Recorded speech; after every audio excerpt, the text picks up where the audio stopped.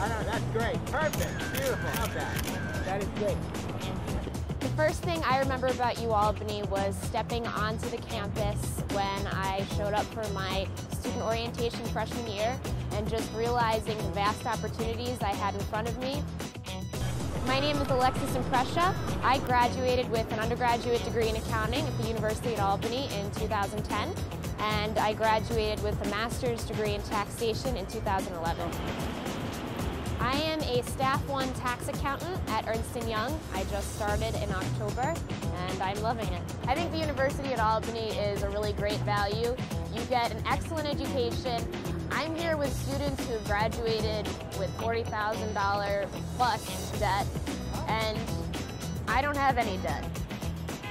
I knew I wanted to pursue a business degree and Albany had a really great reputation for that and I felt like where else would be the best place to be than the capital of New York.